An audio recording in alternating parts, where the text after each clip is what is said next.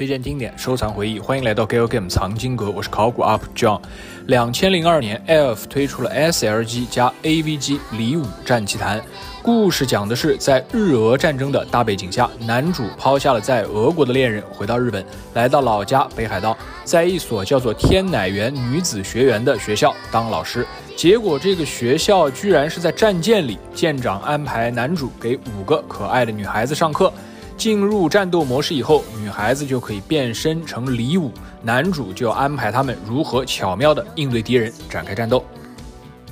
其实从一开始玩这个游戏，我们就能感受到浓浓的樱花大战的味道。先不说什么李武、光武这种套娃设计，就这种舞台剧形式的表演模式。标题、对话、授课、战斗、下回预告、进入下一章，几乎和《樱花大战》一模一样。除了没有鹰战的 RTC 系统，基本什么都超全了。当然，作为 Gale Game 界的大佬，有福利当然是鹰战没办法比的。所以很多人一定都会觉得这就是个福利版的《樱花大战》。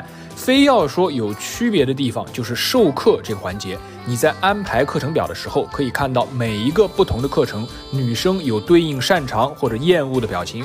课程的效果当然是越擅长的人效果越好，由此来拉开好感度。到每一章的最后会有一个好感度排位。这种操作方式其实是因为没有鹰战里的那么多 RTC 选项，而鹰战的场景设计非常华丽，地点也相对较多，自然有到处逛的动力来推动 RTC。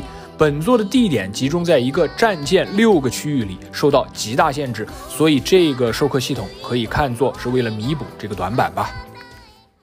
鹰战的战斗已经可以说是非常简单，而本作的战斗那就不能叫做简单，可以说成是简陋。自身离武都不需要什么数值升级装备，完全变成了一个极度简化五行相克版的植物大战僵尸。只要把属性相克的己方机甲配置在正确位置，就万事大吉。很难说有什么乐趣，挑战性也不高。但是因为有等级判定，所以如果你想要全拿甲等评价，怕麻烦可以开 Easy 模式，不过你肯定也不是冲着所谓战斗来玩本作的。本田直树的人物立绘画的还是非常不错，Elf 在这方面还是一贯的高水准。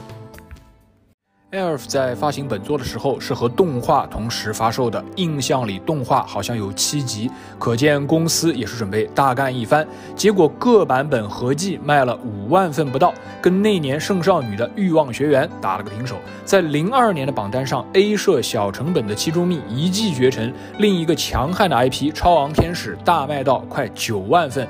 而 Elf 的几个新 IP 都是不温不火，《雪之城二》卖了四万份不到，《百鬼》三万份。很明显，这时候的 Elf 已经露出了疲态，面对 A 社完全落在下风，也就怪不得志田昌人老大急得重新出山，携手土田明海在零三年丢出了《河原崎家族二》这个作品的视频，我往期做过，有兴趣的朋友可以移步去看。综上所述。《李武战奇谭》，我给七十八分，一个极度模仿《樱花大战》的作品。喜欢鹰战这种舞台剧形式的朋友们，完全可以尝试下。看攻略的话，基本没难度。十三个章节，故事说的还是可圈可点的。这个作品放在其他任何一个公司都能成为合格的上乘之作，但放在 Elf 这么一个业界王者来看，却给人有一种江郎才尽的感觉。对比下我以往介绍过的那么多 Elf 游戏，你就更能体会到我为什么这么说。一个风潮的引领者变成一个跟风者，这本身就是极大的退步。最后，我给一个小贴士：本作在 Win 十运行时候过场动画极大概率无法显示，颇为遗憾。如果您喜欢这个节目，请一定要点击订阅，打开小铃铛，给一个三连。我们下期节目再见。